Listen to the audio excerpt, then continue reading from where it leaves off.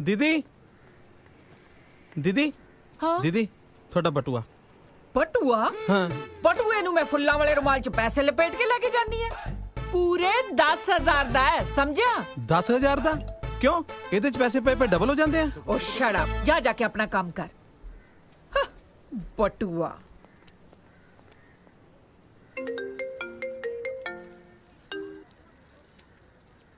ਬੋਲ। ਸਿਮਰਨ ਦੀਦੀ ਨਿਕਲ ਗਏ। ਨਿਕਲ ਕੇ ਕੀ ਹੁੰਦਾ ਓਏ? ਉਹ ਆ ਰਿਹਾ ਇਹ ਨਹੀਂ ਬੋਲ ਸਕਦਾ। ਸਿੱਧੂ ਸਾਹਿਬ ਦੀ ਸਕੀ ਭੈਣ ਕੰਮ ਤੇ ਚੱਲੀ ਆ। ਸਾਲਾ ਕਹਿੰਦਾ ਨਿਕਲ ਗਏ। ਪਤਾ ਨਹੀਂ ਕਿਹੜੀ ਮਾੜੀ ਘੜੀ ਨੂੰ ਮੈਂ ਇਹ ਜਿਹਾ ਨੌਕਰ ਰੱਖ ਲਿਆ। ਸੌਰੀ ਭਾਜੀ। ਸਿਮਰਨ ਦੀਦੀ ਆ ਰਹੇ ਨੇ। ਤੈਨੂੰ 20 ਵਾਰੀ ਸਮਝਾਇਆ ਕਿ ਮੈਨੂੰ ਭਾਜੀ ਨਾ ਕਿਹਾ ਕਰ। ਪ੍ਰੋਫੈਸਰ ਸਾਹਿਬ ਕਿਹਾ ਕਰ? ਜੇ ਮੈਨੂੰ ਭਾਜੀ ਕਹਿਣ ਦਾ ਇੰਨਾ ਹੀ ਸ਼ੌਕ ਆ ਨਾ ਫਿਰ ਸਿਮਰਨ ਨੂੰ ਦੀਦੀ ਕਹਿਣ ਦੀ ਲੋੜ ਨਹੀਂ। ਸਾਲਾ ਹੋਰ ਹੀ ਰਿਸ਼ਤਿਆਂ ਦੀ ਮਿਕਸ ਵਿੱਚ ਬਣਾ ਕੇ ਧਰ ਦਿੰਦਾ। ਸਮਝ ਗਿਆ ਜੀ। ਕੀ ਸਮਝਿਆ? ਇਹੀ ਵੀ ਅੱਜ ਤੋਂ ਕਦੇ ਵੀ ਘਰੇ ਮਿਕਸ ਵੈਜ ਨਹੀਂ ਬਣਾਉਣੀ। ਦੁਰ ਫਿਟੇ ਮੂੰਹ।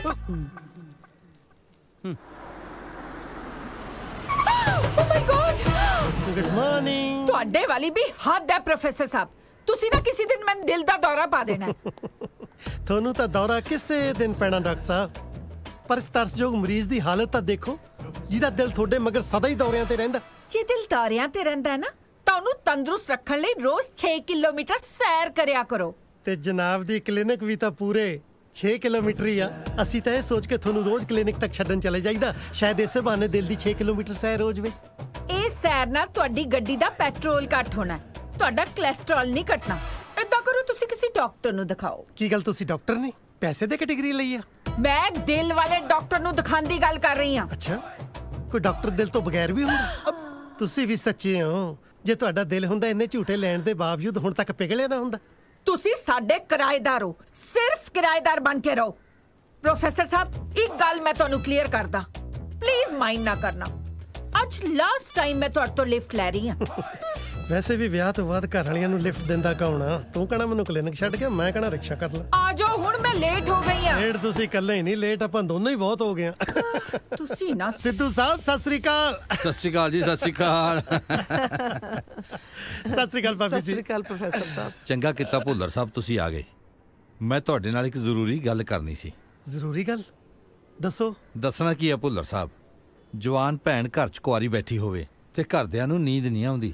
ਗੱਲ ਤਾਂ ਤੁਹਾਡੀ ਸਹੀ ਹੈ ਜੀ ਕੁੜੀ ਜਵਾਨ ਹੋਵੇ। ਨੀਂਦ ਤਾਂ ਸਾਰੇ ਮਹੱਲੇ ਦੀ ਉੱਡ ਜਾਂਦੀ ਹੈ। ਤੁਸੀਂ ਬਿਲਕੁਲ ਠੀਕ ਕਿਹਾ ਭੁੱਲਰ ਸਾਹਿਬ। ਧੀਆਂ ਭੈਣਾਂ ਤਾਂ ਸਭ ਦੀਆਂ ਸਾਂਝੀਆਂ ਹੁੰਦੀਆਂ ਨੇ। ਹਾਂਜੀ? ਤੁਹਾਨੂੰ ਤਾਂ ਪਤਾ ਹੀ ਹੈ ਕੁਆਰੀ ਭੈਣ ਦੀ ਜ਼ਿੰਮੇਵਾਰੀ ਕਿੰਨੀ ਵੱਡੀ ਹੁੰਦੀ ਹੈ। ਬਿਲਕੁਲ।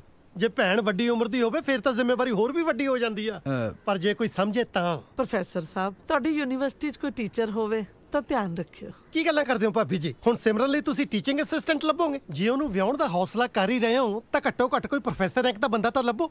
ਪ੍ਰੋਫੈਸਰ ਦੀ ਉਮਰ ਜ਼ਿਆਦਾ ਨਹੀਂ ਹੁੰਦੀ। ਨਾ ਜੇ ਪ੍ਰੋਫੈਸਰ ਦੀ ਉਮਰ ਜ਼ਿਆਦਾ ਕੁੜੀ ਸਲੇਟੀਆਂ ਖਾਂਦੀ ਆ। ਉਹਦੀ ਜਵਾਨੀ ਵੀ ਤਾਂ ਫਾਈਨਲ ਈਅਰ ਚ ਤੁਰੀ ਫਿਰਦੀ ਆ। ਚਲੋ ਟੀਚਰ ਨਾ ਸਹੀ। ਕੋਈ ਪ੍ਰੋਫੈਸਰ ਹੀ ਹੋਵੇ ਤੁਹਾਡੀ ਨਿਗਾਹ 'ਚ ਤਾਂ ਜ਼ਰੂਰ ਦੱਸਿਓ। ਭਾਬੀ ਜੀ ਮਾਫ ਕਰਨਾ ਮੇਰੀ ਨਜ਼ਰ 'ਚ ਕੋਈ ਹੋਰ ਤਾਂ ਪ੍ਰੋਫੈਸਰ ਹੈ ਨਹੀਂ। ਅਲਬੱਤਾ ਤੁਹਾਡੀ ਨਜ਼ਰ 'ਚ ਜ਼ਰੂਰ ਹੋ ਸਕਦਾ। ਜ਼ਰਾ ਗੌਰ ਤਾਂ ਫਰਮਾਓ। ਤੁਸੀਂ ਫੇਰ ਮੇਰੇ ਵਿਆਹ ਦਾ ਗਿੱਲਾ ਪੀਣ ਪਾ ਕੇ ਬਹਿ ਗਏ। ਵੀਰ ਜੀ ਮੈਂ ਤੁਹਾਨੂੰ ਕਿੰਨੀ ਵਾਰ ਕਿਹਾ ਜੇ ਮੈਨੂੰ ਕੋਈ ਮੁੰਡਾ ਪਸੰਦ ਆਏਗਾ ਨਾ ਤਾਂ ਮੈਂ ਤੁਹਾਨੂੰ ਆਪੇ ਹੀ ਦੱਸ ਦਿਆਂਗੀ। ਸਿਮਰਨ ਆਪਣੀ ਉਮਰ ਵੱਲ ਵੀ ਤਾਂ ਦੇਖ। ਫਿਰ ਬਾਅਦ 'ਚ ਰਹਿੰਦ ਖੂਨ ਦੀ ਮਿਲਣੀ ਹੈ। ਫਿਰ ਕਹੇਗੀ ਮੈਨੂੰ ਬੁੜੇ ਨਾਲ ਵਿਆਹ ਤਾਂ। ਕਿਉਂ? ਬੁੜਿਆਂ ਦਾ ਦਿਲ ਨਹੀਂ ਹੁੰਦਾ? ਵਾਹ ਕਿੱਡੀ ਸਿਆਣੀ ਗੱਲ ਕੀਤੀ ਹੈ ਸਿੱਧੂ ਸਾਹਿਬ। ਉਹ ਵੀ ਸੰਡੇ ਨੂੰ। ਨਹੀਂ ਆਮ ਤੌਰ ਤੇ ਕੁੜੀਆਂ ਸੰਡੇ ਨੂੰ ਕਿੱਥੇ ਸਿਆਣੀਆਂ ਗੱਲਾਂ ਕਰਦੀਆਂ? ਉਹਨਾਂ ਦੇ ਪਾਦੀ ਛੁੱਟੀਆਂ ਤਾਂ ਛੁੱਟੀ ਹੈ। ਵੈਸੇ ਸਿਮਰਨ ਜੀ ਹਾਂ। ਕੌਣ? ਕਿਹਨੂੰ ਕਦੋਂ? ਕਿੱਥੇ ਟੱਕਰ ਜਵੇ? ਕੁਝ ਕਹਿ ਸਕਦੇ ਹੋ?